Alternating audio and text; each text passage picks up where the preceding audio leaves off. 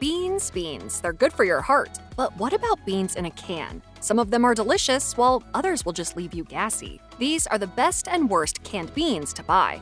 First cultivated in Central and South America more than 7,000 years ago, black beans are now popular all over the world. They're also affordable and filling, and perfect for use in countless dishes. Since dried black beans require hours of soaking and cooking before you can use them, the canned variety is definitely the way to go for chefs and home cooks alike. They're quick and convenient, and they still pack the same great nutty, earthy, creamy flavor as if you prepared them yourself. Black beans can be used in a million different ways, like salads, soups, dips, and especially burritos and tacos. For the best tasting black beans after you pop open the can, be sure to rinse them under running water to remove excess salt and starch. However, you use them, black beans are a nutritional superstar as they're low in fat and high in protein and fiber. They also pack a wonderful array of essential nutrients such as iron, magnesium, and folate. Kidney beans are another canned pantry staple. Named for their distinctive shape, they're also sometimes known as red beans in parts of the southern US and Caribbean. Canned kidney beans are a favorite of many chefs because of their incredible versatility and their ability to add immense depth of flavor and texture. They can be used in innumerable ways, as they typically take a leading role in chili, soups, stews, salads, and a variety of dips. Beloved for their slightly sweet, almost umami like flavor and creamy texture, kidney beans can also absorb the flavors of the ingredients they're cooked with, thereby making dishes heartier, more satisfying, and more flavorful. If you've got a few cans of this Wonder Bean stashed away, why not mix them with some browned ground beef and spices for a 15 minute chili, or mash them up to be the basis for a homemade veggie burger? Lima beans got their start in Peru, and they're even named after the country's capital city.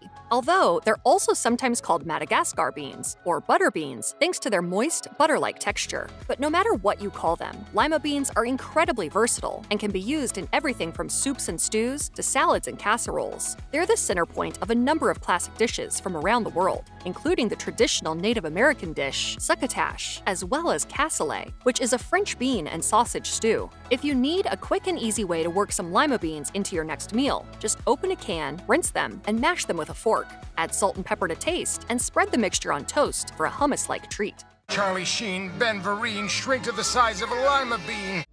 First grown in large quantities in the Middle East, chickpeas are a staple in a variety of regions, including India, Turkey, Iran, and the Mediterranean. Because of this, the humble bean goes by a number of alternate names, including garbanzo beans, Bengal gram, and Egyptian peas. An excellent source of fiber and protein, chickpeas have a unique nutty and creamy flavor, as well as a slightly grainy texture. That gives them heft and volume, especially in the dishes they're most known for, like hummus, falafel, and curry. Canned chickpeas are not only convenient, they also have an incredible shelf life, making them one food you can stock up on without ever really having to worry about your supply going bad. They also make a great roasted snack on their own. Just pop open a can, rinse them, and pat them dry on a paper towel. Then toss with a bit of olive oil and some favorite spices and bake until golden and crispy. These girls at school keep calling me chickpea. Oh, son, that's just another name for garbanzo. You are a chickpea.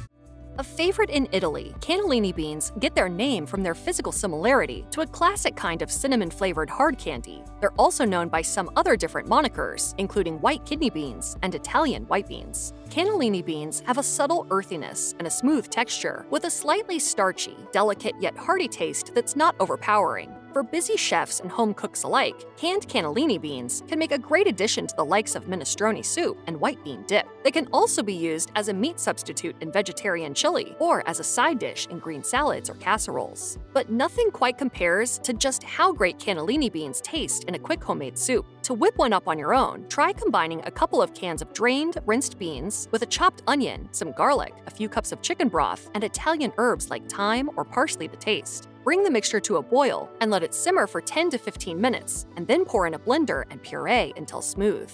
Black eyed peas have long been considered a staple of Southern cuisine. Originally native to Africa, where they've been cultivated for centuries, they have a distinct flavor that's often described as slightly sweet and starchy, with a subtle hint of bitterness. The name comes from their physical appearance, which features a distinctive black spot surrounded by otherwise beige skin. They also go by a variety of aliases, including cow peas, southern peas, field peas, marble beans, and Jerusalem beans. Similar to a lot of other canned legumes, busy cooks love black-eyed peas for their ability to work in a wide range of dishes, including jambalaya, collard green stew, black-eyed pea fritters, and vegetarian black-eyed pea burgers. Even meat eaters can get in on the greatness in burger form. Just work a handful of mashed black-eyed peas into a ground beef mixture before forming it into patties. With all this versatility, it just goes to show you that black-eyed peas are good for way more than just ushering in luck and prosperity on New Year's Day. Happy eating!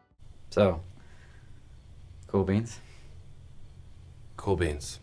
Now that we've stocked up on some reliable canned beans, let's clear out the ones to avoid, starting with a certain comfort food classic. Canned baked beans consist of a mixture of navy beans, kidney beans, and pinto beans. They're generally combined with molasses, brown sugar, Worcestershire sauce, dry mustard, and some form of tomato sauce, stirred together, and then slow cooked to perfection in the oven or atop the stove in a cast iron skillet. This dish is believed to have originated with the Native Americans and is now widely beloved across the US and around the world. In the UK, baked beans are a breakfast staple, while in Australia and New Zealand, they like to spread them on toast. But while nobody can dispute the popularity of baked beans, this is one variety that's better off coming from somewhere other than a can. For starters, the beans used in most brands tend to be lower quality rejects. If they can't be sold on their own, manufacturers mix them with other beans and cover them in a sauce so that their poor quality is harder to detect. Canned baked beans are also usually a no-no because of their high amounts of sugar, salt, and preservatives. Plus, they often lack the sweet, tangy, caramelized bite of beans that have been slow cooked for hours. Instead, they tend to taste a bit cloying, tinny, and bland.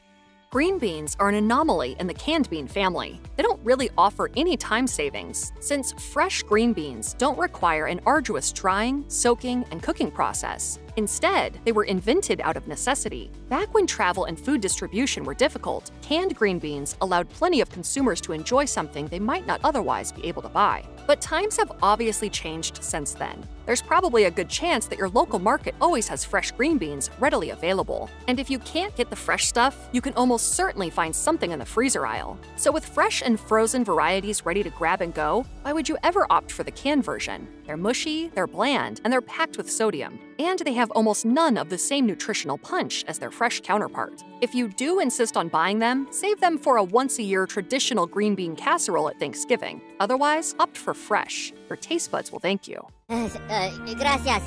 Like green beans, canned bean sprouts are another weird relic of the past that just won't seem to go away, no matter how out of date they are. Bean sprouts are literal sprouts of mung beans and soybeans that have just begun to grow. They're a staple of Asian cuisine and have been enjoyed in countries like China and Japan for thousands of years. They have a crisp, nutty, slightly sweet flavor and can be eaten on their own or used in a wide variety of dishes, ranging from salads and stir fries to soups and sandwiches. Despite their popularity, there was a time not that long ago when bean sprouts were hard to come by, especially if you didn't have easy access to a specialty Asian market. In these cases, canned bean sprouts were useful, but as the availability of fresh food continues to increase, they're no longer that valuable. And besides, they were never actually that good in the first place. The sprouts packed into cans are often incredibly mushy and bland. They also tend to be high in sodium and loaded with chemicals and preservatives that further diminish their nutritional punch. For professional chefs and home cooks alike, this is another example where fresh is best.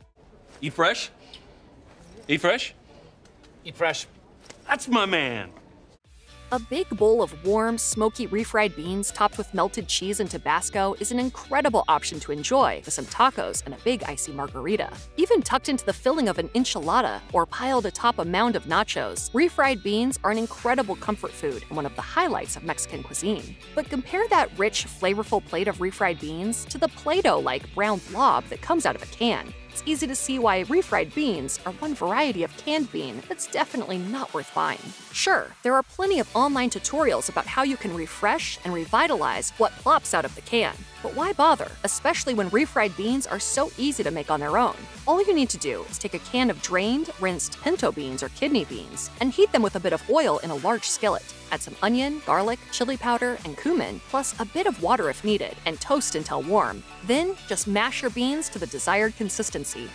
If canned green beans are mushy, then canned peas are one step away from baby food. They're a horrid mess that definitely doesn't deserve a place in your pantry, let alone your diet. But when they're fresh from a harvest, garden peas or English peas are one of the most delightful legumes you can get your hands on. They're bright, moist, sweet, and incredibly flavorful. They're perfect to eat on their own or combined into any number of homemade dishes. Chilled spring pea soup and peas and pasta are just a couple of stellar standouts. But if you throw those same fresh peas into a can, all that magic instantly disappears. Mushy doesn't even begin to accurately describe canned peas. They basically taste like metal, and they're loaded with sodium. If you buy a sodium free variety, then they basically taste like nothing. Once again, this is a case where fresh is best, and going for the cold option may be even better, as frozen peas save you the hassle of blanching and prepping. And they're still incredibly tasty, as they stay bright and crisp even after a few minutes of steaming in the microwave.